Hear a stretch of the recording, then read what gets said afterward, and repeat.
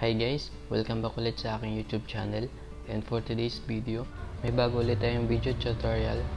Rebonding Hair Regrowth plus Hair Color? So ito yung model natin for today. Una gugupitan muna natin siya. Kasi gusto niya short hair lang. Nilagpasan lang natin ang balikat para hindi siya tufikwas So yung unang gagawin natin is i-rebond muna natin siya. So kung nakikita niyo yung medyo dark na part, yun yung regrowth niya. So yun muna yung una nating a-apply ng gamot. So, bali, uunahin muna natin yung ribbon, tsaka natin kukulayan. Tips lang to guys, kasi once na pag may kulay na yung buhok, mas mabilis na tumalab yung pang ribbon. So, kung beginners pa lang guys, hindi nyo pa kabisado yung mag-ribbon, mas okay na i-ribbon nyo muna bago kulayan. Kasi once na nasobrahan nyo ng babad yung gamot ng pang ribbon, may tendency na masusunog yung buhok. So, mas mabuti na i-reban nyo na lang muna bago nyo kulayan kasi pag nireban nyo muna, maaari nyo pang mapabad yung gamot para ma-apply nyo ito ng maayos. Sa application naman, kailangan half inch away from the scalp lang. Huwag nyo isasagad sa anit. At huwag nyo rin nilalagpas doon sa part na rebanded na. Kasi pag once na nilagpas nyo guys, baka mapasobrahan nyo ng babad, masusunog ito. Ibababa nyo na lang siya pag luto na yung sa taas. Dapat sakto rin yung application natin ng gamot. Yung section natin dapat maayos. At ang pinaka-importante sa lahat, dapat alam natin mag-analyze ng buhok. Alamin natin yung history, kung ano yung mga pinagawa niya sa kanyang buhok para alam natin kung pwede ba to i-reban o kung ano yung pwedeng gawin na mas makakaganda ba sa kanyang buhok. So, importante talaga guys na alam nyo mag-analyze ng buhok. Mapakulay man yan, riban o kulot Importante yun guys. So yun. Pag nalalagay na natin yung gamot dito, ibababad lang natin siya ng mga 30 to 40 minutes. I-check lang natin. Pagkatapos, ibababa na rin natin dun sa part na rebonded hair o yung may previous na na-rebond.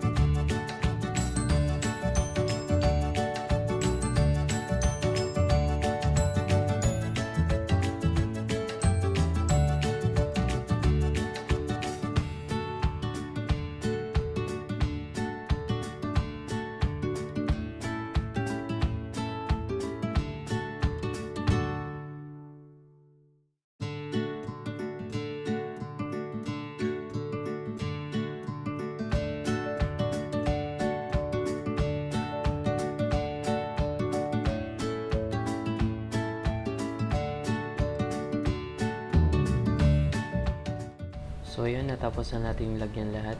Bababa lang natin ng 30 minutes, tapos check. So yun guys, after 30 minutes, i-check natin.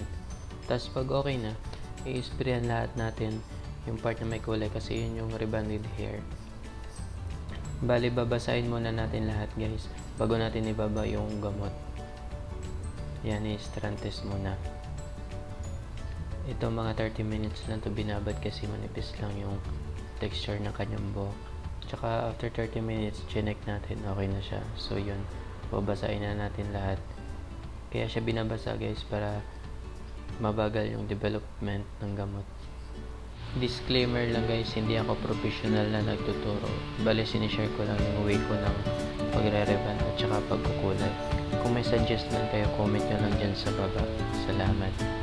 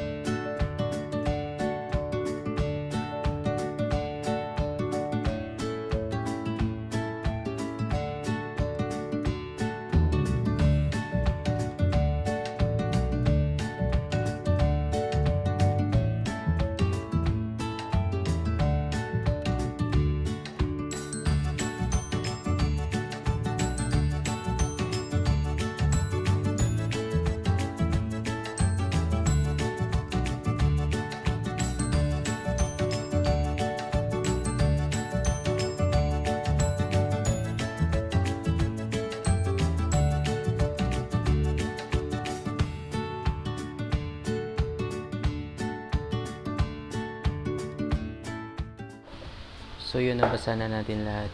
Ibababa na natin ngayon yung gamot. Pagtapos natin mababa, wag na natin ibabad. Babanlawan na natin ito kaagad. Pwede na banlawan agad lalo na pag rebonded yung buhok.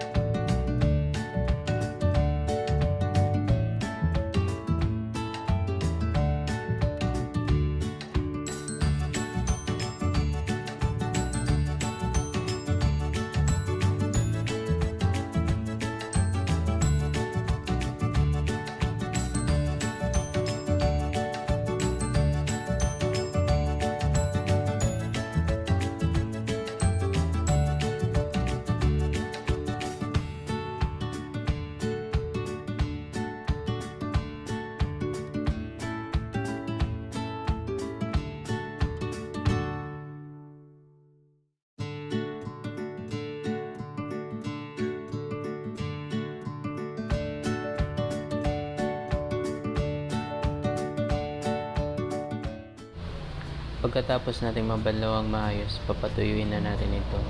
Tapos planchahin na rin natin pagkatapos. Blow dry lang natin ng maayos yung tuyong tuyo bago natin planchahin.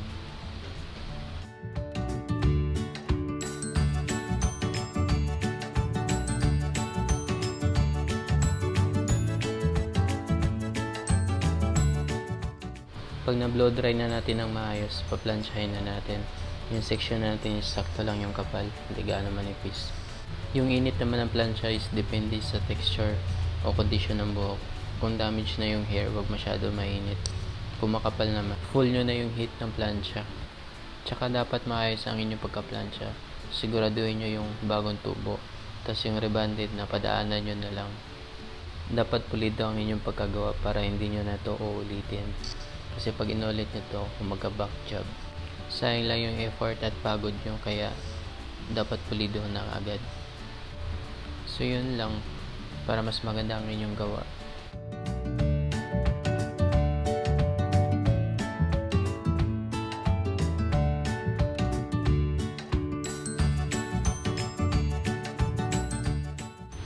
So pag na-plancha na natin lahat, ilalagay na natin ngayon yung neutralizer o yung letter B rebonding cream. Yung application naman nito is roots to ends. Huwag niyong titipirin sa gamot kasi ito yung maglalak ng inyong rebond. Pag na-apply na natin lahat, ibababad lang natin ng 10 to 15 minutes. Tapos babanlawan na natin. Banlaw lang maigi kasi kukulain pa natin pagkatapos. Panoorin nyo muna yung application.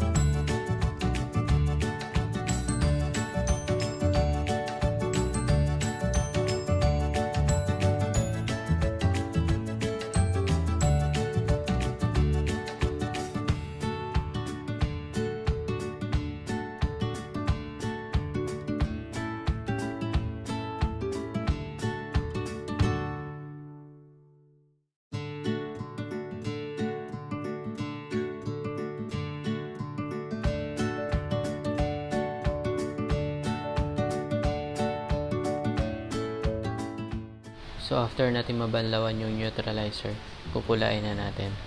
Bali hindi na natin pinatuyo. In-applyan natin siya ng basa pa. Kasi ang kanyang kulay is dark. Pwede rin namang patuyuin pero pag dark yung kulay, pwede nyo applyan ng basa para mas mabilis. Kasi gusto niya mag-tone down ang kanyang kulay. Pero kung light color yung gusto ng client, mas okay na patuyuin nyo muna bago nyo applyan ng kulay para mahabol yung gusto niyang kulay. So yun lang, after kong malagay lahat, babad ko lang siya ng 30 minutes, tapos babanlawan ko na siya. Tapos babanlawan ko na rin siya ng treatment. Tapos yun na guys, papatuyuin na natin para makita na natin yung result.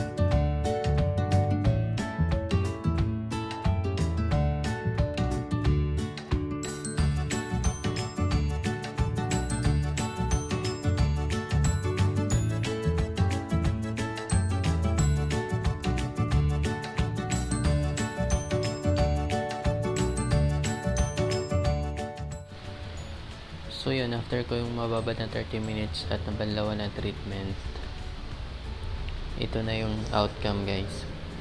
Sana may natutunan ulit kayo at salamat sa lagi nanonood. Thank you guys and God bless.